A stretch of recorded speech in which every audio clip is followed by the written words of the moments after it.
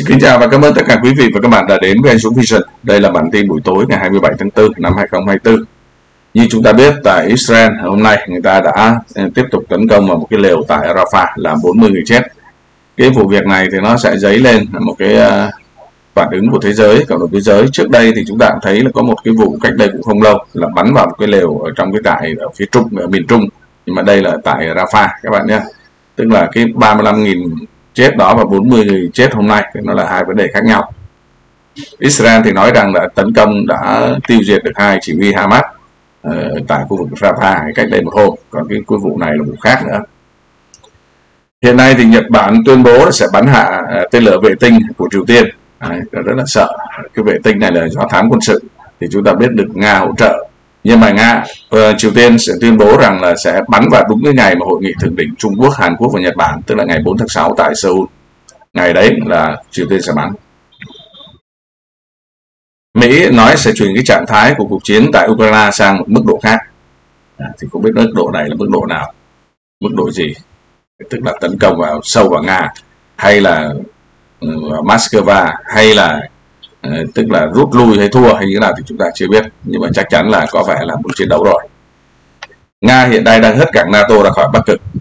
Cái cái cái này tôi sẽ có một cái chuyên đề sau các bạn nhé. Nhưng mà đây là những cái yếu tố nó rất là quan trọng nó ảnh hưởng cái địa chính trị toàn khu vực này.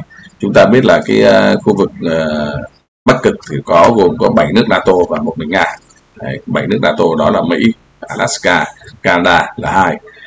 Ba nước scandinavia gồm phần lan thụy điển và na uy là 3 với 2 bên này là 5 một anh chàng nữa là anh Đan Mạch Đan Mạch có Greenland đây tàu đùng tức là thuộc địa của Đan Mạch còn một anh nữa đó là Iceland tức là 7 hai anh ở đây và anh Scandinavia là 5 hai anh Bắc Mỹ là 7 và Nga là 8 ở chung cái chỗ này.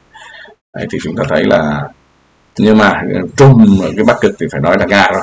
Gần như có một cái hạm đội phá băng ờ, bằng tàu phá băng nguyên tử trong khi đó Mỹ chỉ có một cái mà ngó bộ là đi cũng thấy còn khó khăn thì thực tế là về cái cái cái lãnh hải về bắc cực thì nga cũng là rộng lớn nhất. Chúng ta thấy là từ eo biển bering này đi như thế này và là, là tới tận na uy.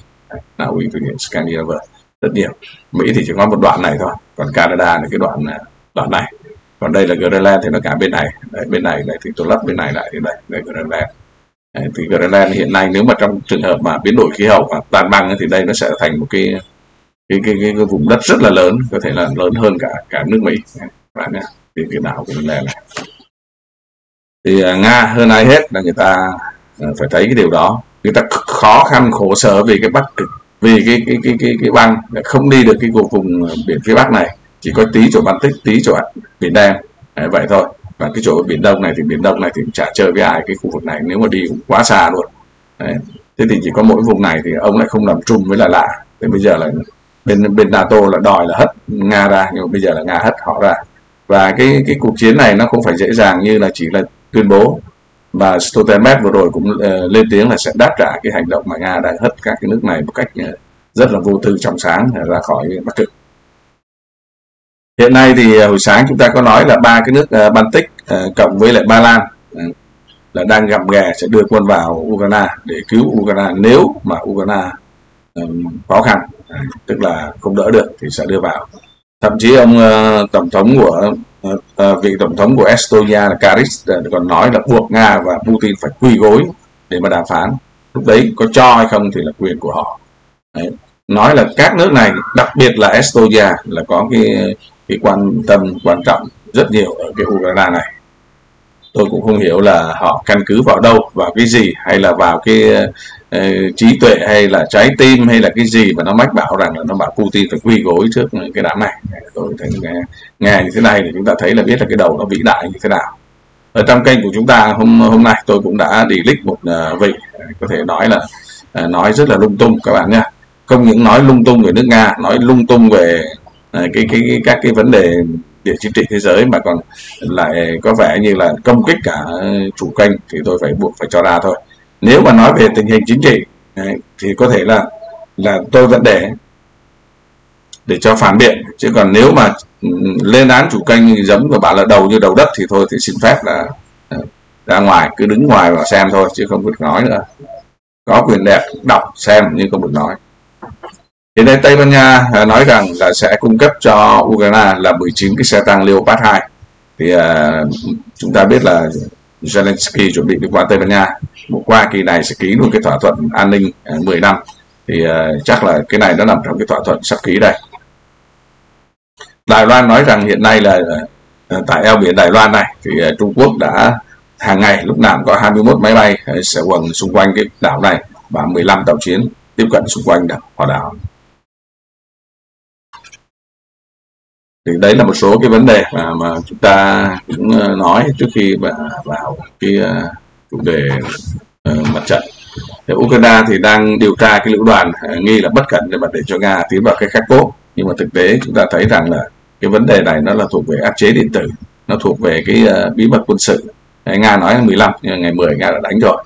Và nó rất nhiều cái vấn đề nữa chứ không phải chỉ có vấn đề đó. Còn sân bay Donetsk chúng ta biết là vừa bị phá hủy xong còn Mỹ à, bên Mỹ thì người ta à, chúng ta biết là cái, cái nghiên cứu về vũ khí siêu thanh thì nó không bằng Nga và Trung Quốc. Và họ đã từng bỏ ra gần một tỷ đô tức là khoảng à, bảy tám trăm triệu đô la Mỹ để nghiên cứu tên lửa siêu thanh. Nhưng mà nói nói chung nó bay là đẹp nó vẫn giống như một số ờ, các cái máy bay khác. Nó cũng có một cái ờ, tên lửa đã bay được rồi nhưng mà ừ, theo báo chí của Nga nói thì có có thể là người ta cũng cũng gọi là khích bác thôi. Tức là bay và bay chậm hơn cái máy bay, tên lửa bình thường.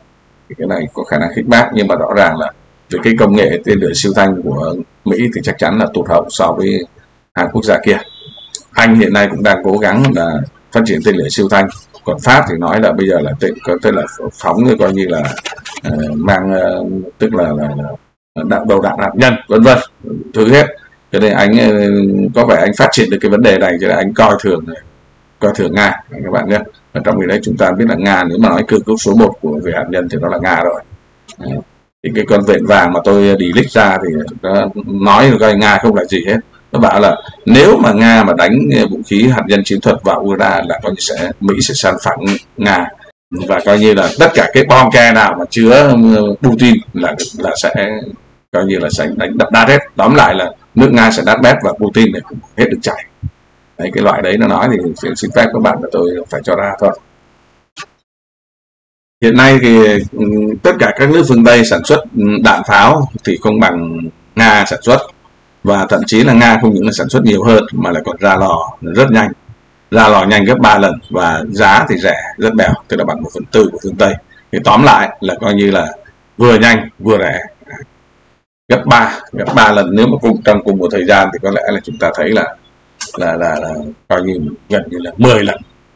Thì coi như trong khi đó là các các nước này thì chúng ta biết là cái thuốc thì chỗ ông này cái cái cái cái, cái, cái, cái kim loại tức là cái cái cái cái vỏ thì chỗ ông này rồi công nghệ thì chỗ ông kia nhà máy thì chỗ ông nọ. Cứ trở tới trở lui thì là, là với lại làm mà không phải làm cho mình mà đi làm cho thằng Ukraine thì tôi nói không thể bằng cho Nga làm cho Nga được.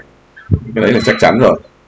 Thì hiện nay là hàng nghìn người à, Ờ, ở Israel uh, đã biểu tình cáo buộc uh, tức là chính phủ đã tội phạm tội tội ác chiến tranh trong các cái vụ không kích vừa qua tại Gaza tức là đặc biệt là chỗ Rafah.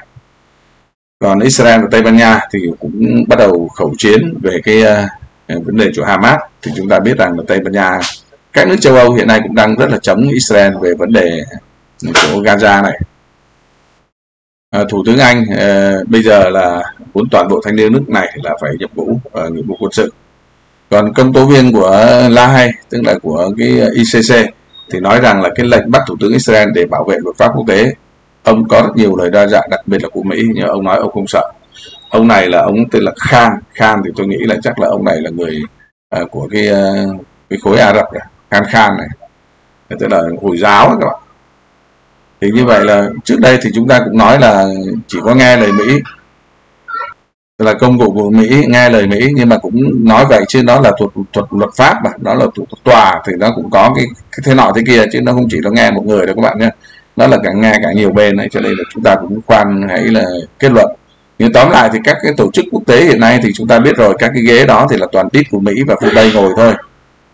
Nhưng mà cái gì nó cũng có cái giới hạn của nó chứ không phải là cái gì là coi như là là nó bất tuân hết cả luật pháp thì tôi nghĩ là cũng không không hẳn. Ông Zelensky thì hiện nay đang mời lãnh đạo Mỹ và Trung ờ, Quốc dự cái hội nghị tại Thụy Sĩ. Mà chúng ta biết là ờ, Biden là nói không đi vì bận là bầu cử, còn Trung Quốc thì lại càng không đi rồi. Bây giờ là bao nhiêu ông tập với ông ờ, Biden với ông Putin là một là một trong những cái vị có thể nói là quyền lực nhất của thế giới. Mà bây giờ đi nghe một cái thằng tôi nói, ví dụ là nó, là đây là một cái thằng nó gọi là nó mãn nghiện rồi, tức là nó là nó là bù nhìn rồi, nó không nó không phải là thật nữa rồi.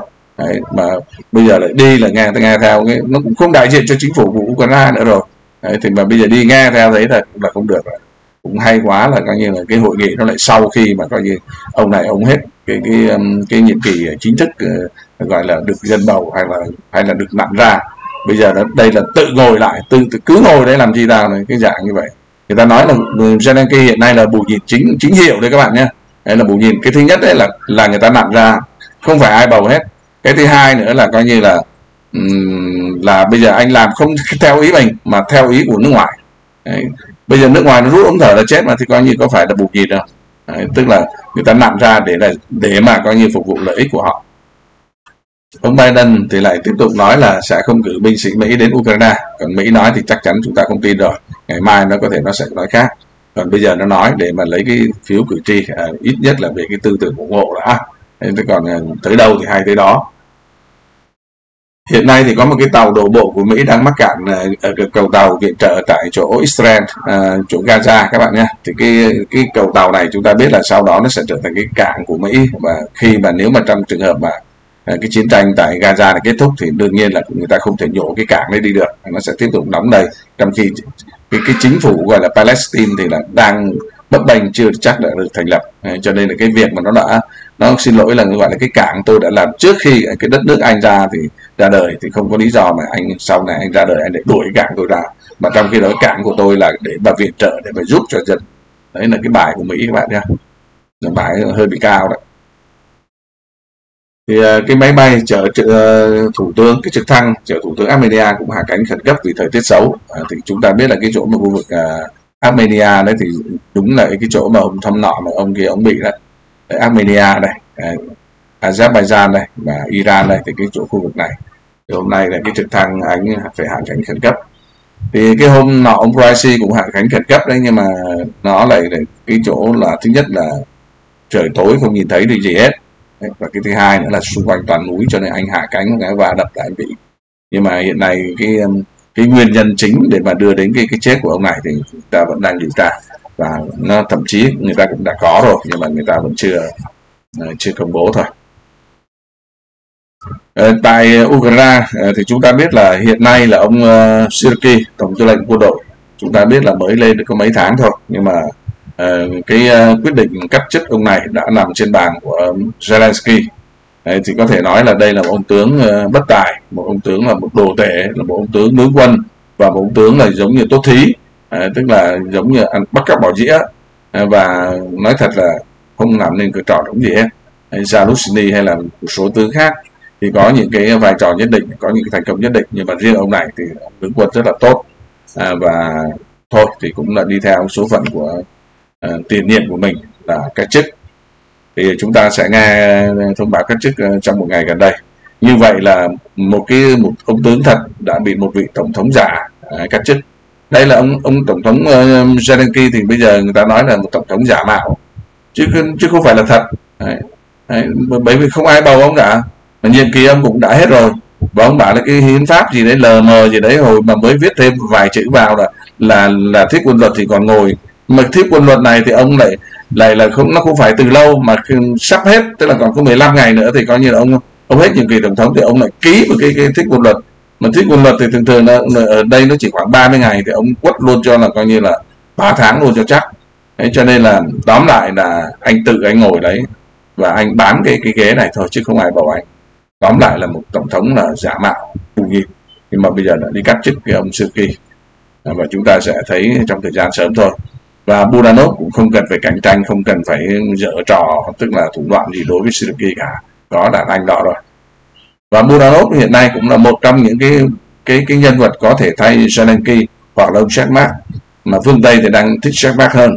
Còn còn uh, ông Budanov thì nó chỉ nó chỉ giỏi cái chống Nga là một cái mưu mẹo lươn lẹo là hai và cái thứ ba nữa là nó là nó nó, nó chuyên ngành. Tức là nó chuyên ngành về tình báo chứ không phải là chuyên ngành về quản lý. Đấy cái dạng như vậy thì cho nên là nhưng mà rõ ràng là đối với loại tham vọng như Budanov thì họ cái gì họ cũng muốn cả.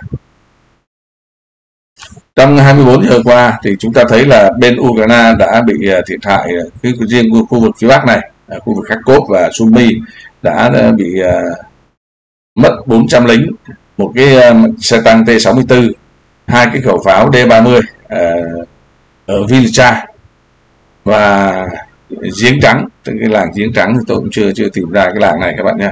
và một cái ờ, uh, Gras MLRS chủ Zalochip Zalochip thì các bạn biết là cái chỗ này thì ờ, sáng chúng ta đã nói rồi. Thì nó là đây Zalochip đây. Zalochep cũng được các bạn nha, chip thì là tiếng Anh uh, Ukraine còn chép thì là giống như là, là, là tiếng Nga. Đấy, thì cái vùng này buổi sáng là tôi vẽ là như thế này thì các bạn là Nga cũng sẽ lấy cái phần lồi này. Phần này là phần lồi là Nga phải lấy thôi. Đây là Zalo chip này các bạn. Hiện nay nó có một cái gọi là cái đội Zalo chip tức là nó giống giống như là nghĩa quân ấy. nghĩa quân của Nga nó đang đóng ở khu vực này. Chúng ta biết đây là Kharkov thì uh, đây là Kharkov. Thì đây là cái khu rừng. Đây là Lippi này à, Lipsy xin lỗi Lipsy đây. Thì à, Nga thì đang đánh hôm trước là chúng ta nói cái hồi đầu là Nga là Nga sẽ đánh cái hướng này và Nga sẽ đánh cái hướng này. Đấy, chứ không có đánh trực diện vào đây đâu. Đấy, cho nên là bây giờ đánh trực diện vào Lipsy này chúng ta thấy là coi như là là là, là không phải là, là là bế tắc mà nói tóm lại là đã bị chặn đứng. Đây là cái chỗ Lipsy là cái chỗ này. Thì mình sẽ đứng. Thế bây giờ đánh theo cái mũi này thì đúng là khi vào chỗ Zaruchev này thì chúng ta biết là là nó đây mới là cái cái cái, cái trực chính của nga này chứ không phải là bây giờ đánh đây không lại là bắt đầu đánh bên này rồi. Hồi xưa nếu mà các bạn theo dõi uh, cái, cái, cái tình hình ở cái khu vực các cốt này lâu thì các bạn sẽ thấy các cái mũi tên như thế này trước đây. À, và một cái D20 cộng 3 xe ở Sechcharovka đấy là cái khu vực ờ, ở đây.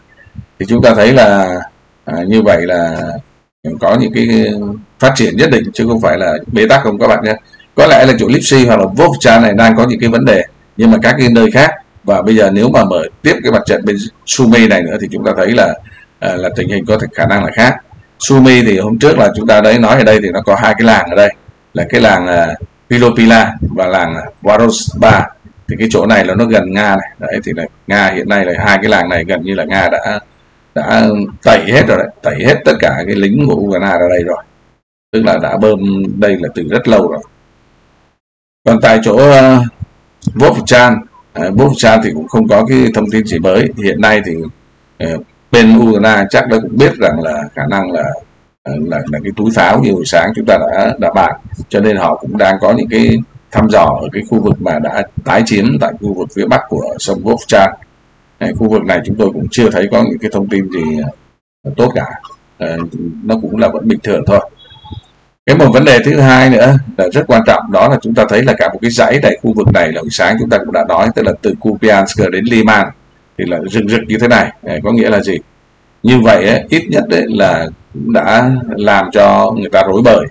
Thì tôi sáng tôi có nói đây chúng ta biết đây là cái khu vực mà Lugan à, Lugan nó còn còn lại đây cả dưới này tí thì Lugan chỗ này đã xong rồi. Thế còn hai cái miếng này là chưa rừng tội phạm ở cái khu vực này thì cái khu vực này ấy, thì à, buổi hồi sáng chúng ta cũng đã phân tích thì bây giờ cũng vậy thôi. Thì nga đang tiến lên à, cái chỗ tạo gọi là Tabaika, Kislovka và Polyarovka hiện nay đang tiến ra đây. Và và cái Pischane này thì nga cũng đang tiến ra. Đấy. còn cái chỗ mà Novosilovka ok luôn. Stanomakovka thì hiện nay đang đánh mà chưa được. Chỗ này đánh chưa được? Chỗ này thì ok rồi. Chỗ này cũng ok rồi thì um, hiện nay và cái chỗ mà phía dưới chỗ Novodianka thì nga cũng đang đánh xuống chỗ Makivka trước đây thì Makivka cũng đang đánh ra. Đấy. còn Neveska thì tôi chưa chưa chưa thấy có một cái hiện tượng.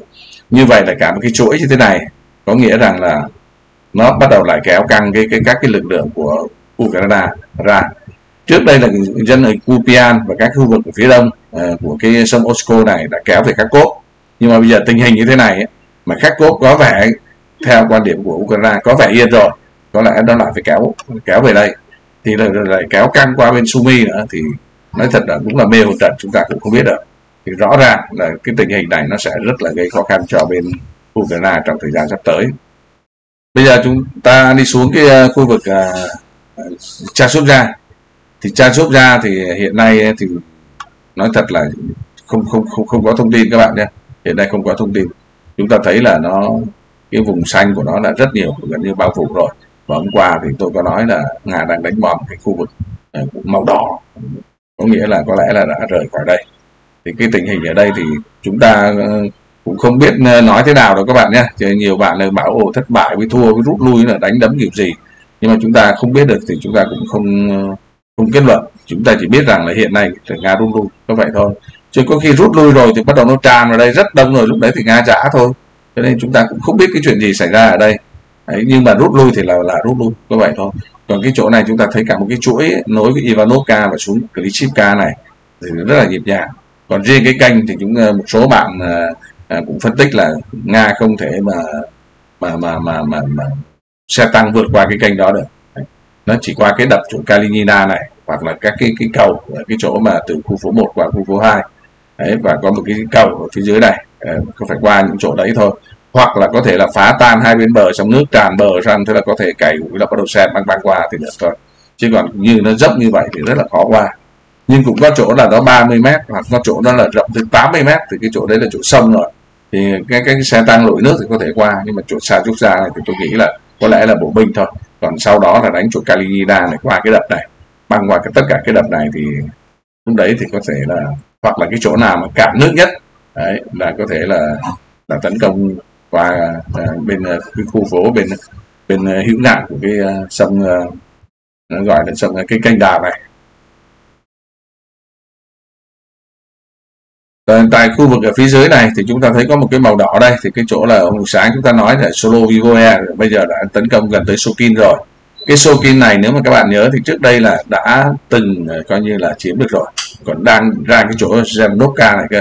Nhưng mà có cái là cái chỗ Zemnovka này thì ừ, nó cũng phải chờ cái tương tác ở phía trên.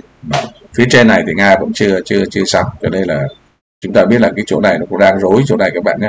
Hiện nay thì nga đang tấn công cái chỗ Novo ờ, Sandrovka vẫn chưa được. Mà bây giờ có vẻ như là bắt đầu lại muốn lên cái chỗ là Suvatka này hiện nay là như vậy. Rồi bây giờ chúng ta xuống uh, tiếp phía dưới này thì uh, cái chỗ này chúng tôi thấy cũng không có gì mới hết.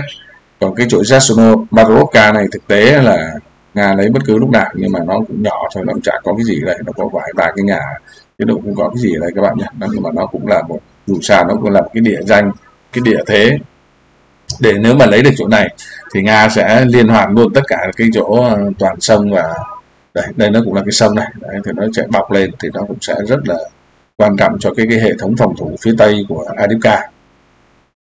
Rồi chúng ta đi xuống phía dưới này chỗ Krasnogorodka này thì là cái khu vực này vẫn là đang đánh nhau.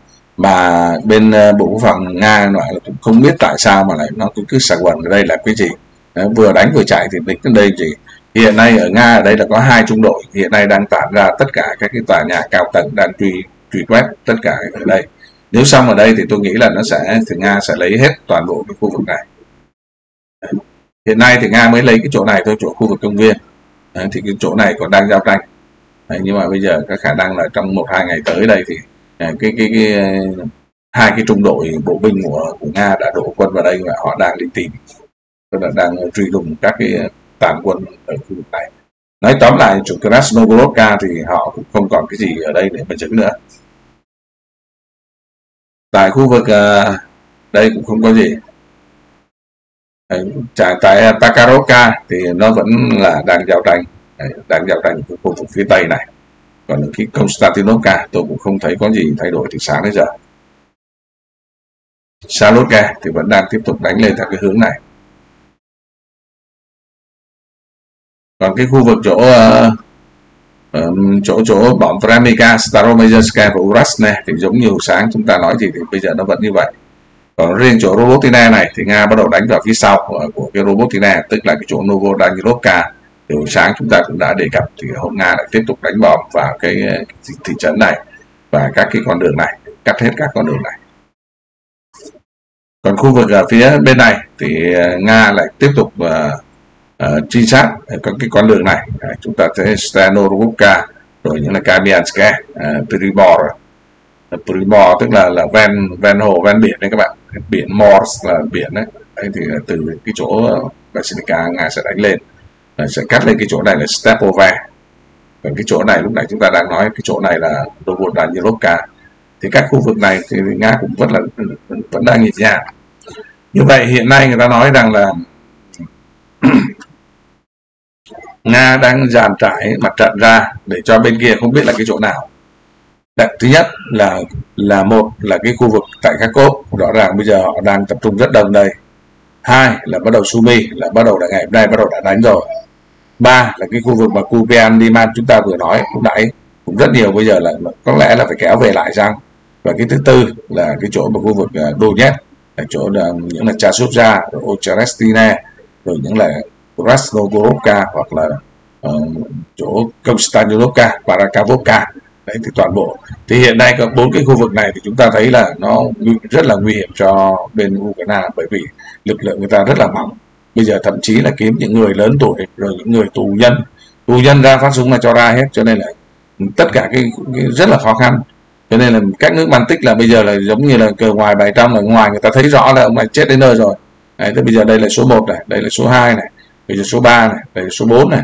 Đây là bốn cái vị trí này bây giờ dàn ra như thế nào mà chúng ta biết là trước đây là họ lấy quân từ trà, trà xuất ra để đi về Kharkov này từ Kupian đi về Kharkov này rồi bắt đầu từ cái chỗ um, ờ, uh, Krasnogorovka vừa chạy vừa vừa đến Kharkov thế bây giờ Kharkov là nghe nói là là đánh sumi là bắt đầu tiếp tục là lên sumi lên sumi xong nghe nói là không khéo là là ông ông ông giả vờ ông nói sumi với Kharkov nhưng mà ông lại đánh cái khác cái kia cho nên lại kéo qua kia.